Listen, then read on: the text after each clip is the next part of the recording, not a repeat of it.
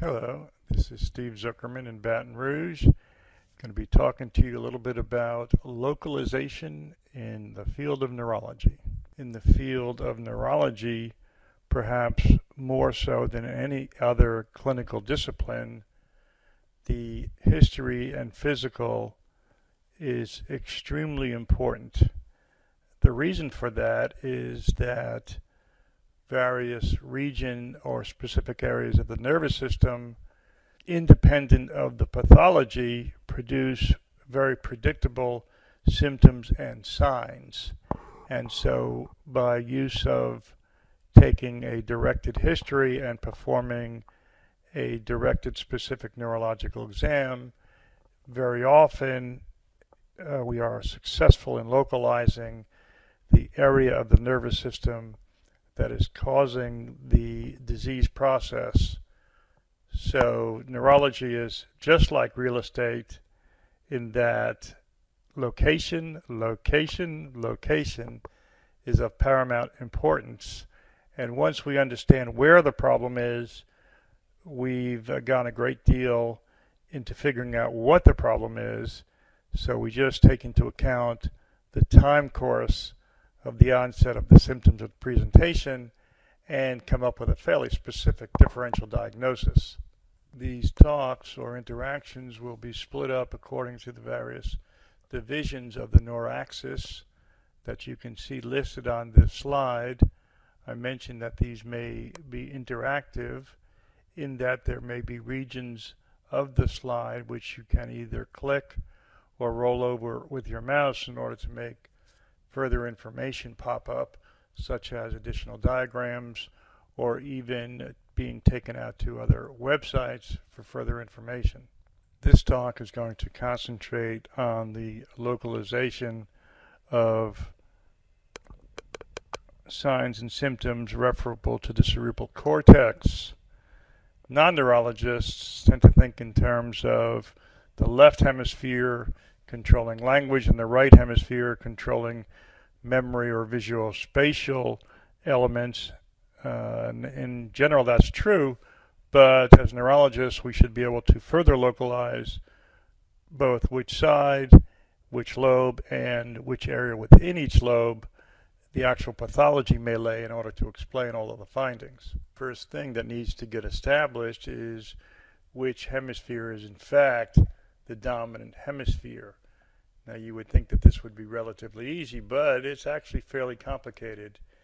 And this graph shows what percentage of people are, in fact, right hemisphere dominant. And uh, there is a linear relationship between their degree of handedness and the extent to which the right hemisphere is dominant, such that at uh, the lowest level, which is somebody who's completely right-handed, 4% of those people have a right hemisphere dominant. If somebody is completely mixed, i.e. ambidextrous, truly, then they have a 15% chance of having a right hemisphere dominance. And at the opposite extreme, in those people who are 100% left-handed, they have the maximum, which is 27% of those people are right hemisphere dominant. Now, since there is a linear relationship, as you can see by this graph, there's actually a formula that can be applied that we'll talk about in the next slide. And here is that relatively simple formula showing that the percentage of people with right hemisphere dominance is equal to 15% minus the handedness of that person divided by 10. So if you're completely right-handed, that would be 100% divided by 10, which is equal to 10, or 15 minus 10, or about 5% will be right dominant. Whereas totally left-handed people their handedness would be considered to be negative 100. And so negative 100 over 10 is negative 10, and 15 minus a negative 10 equals 25%. So it works out pretty well mathematically. However, if you're uh, really uh, in need of determining which hemisphere is dominant, there is a test called a WADA, W-A-D-A test, in which uh, your carotid gets injected with a short-acting barbiturate, Amytal, truth serum, and after that half of the brain has been paralyzed or unactivated, deactivated, then uh, they determine whether or not you in fact retain the ability to utilize language. As I speak about each of the four different lobes, I'll first discuss signs and symptoms uh, that are present in both hemispheres, and then if there are specific signs for the individual hemispheres, we'll discuss those. So that in the frontal lobes, the prefrontal cortex is responsible for the maintenance of your personality and your initiative. And characteristically, if there's bilateral frontal lobe damage or dysfunction, you become very withdrawn, you have very little interest, you, you interact minimally with your environment, and that's described as being abulic.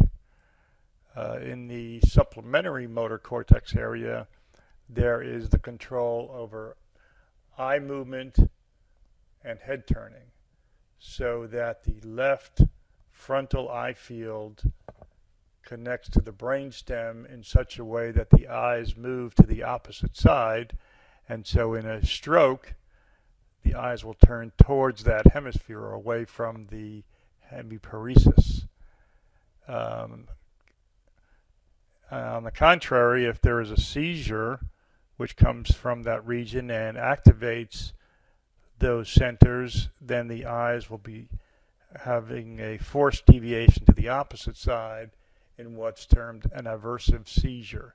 And finally, we have our old friend, the uh, motor homunculus in the precentral gyrus, which is responsible for contralateral uh, movements in patients who are left hemisphere dominant in the left frontal lobe, one finds not only the frontal eye fields, but posterior to that, Broca's area. And so a left hemisphere lesion will cause an aphasia of Broca's type.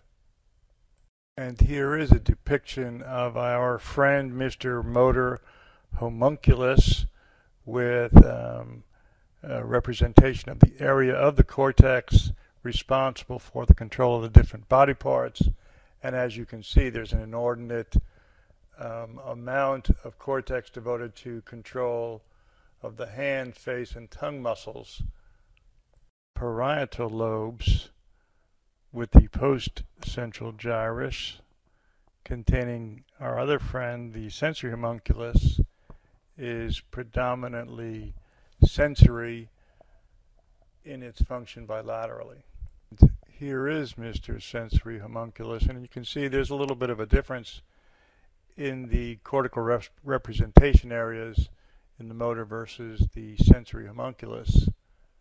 Again, assuming a left hemisphere dominance, a left parietal lesion will result in a Wernicke's type aphasia. And if the lesion is in particular in the angular gyrus, it can produce a tetrad of symptoms which are grouped under the rubric of Gerstmann's syndrome. And those symptoms would include finger agnosia, so you request the patient recognize or show to you a different finger, thumb, little finger, index finger, they're unable to do so. Uh, there is a right-left confusion, so you say touch your left ear with your right hand.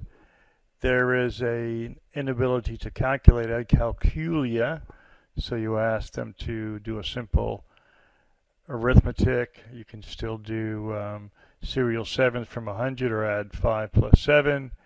And then, interestingly, there is an agraphia without alexia, so that the person can read, but they can't write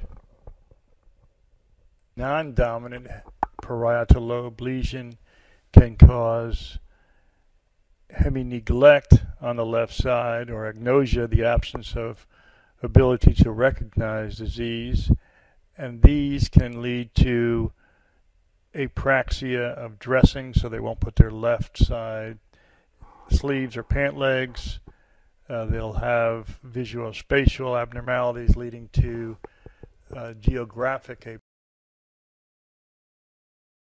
and temporal lobe is important for learning and memory as well as olfaction.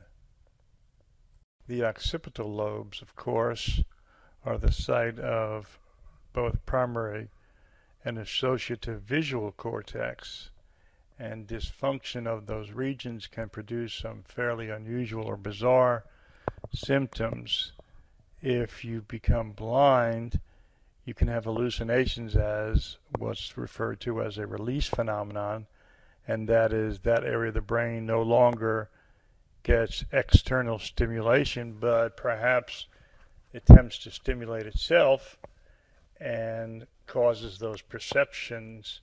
And in the case of visual release phenomenon, that's called a Charles Bonnet syndrome, which is difficult because my insurance agent is Charles Bombette, but he's not blind, so I should be able to tell the difference. Uh, there is a another agnosia, inability to know, from the Greek prosopagnosia, which is you can't recognize what should be a very familiar phrase. Bilateral occipital lobe dysfunction can lead to blindness, and uh, you know it's not ocular mediated because you'll have normal pupillary reactions. And another agnosia, inability to recognize disease when you're blind, is called Anton syndrome. So a patient is completely blind yet is apparently not aware of that and believes that they can see things despite obvious inability to see.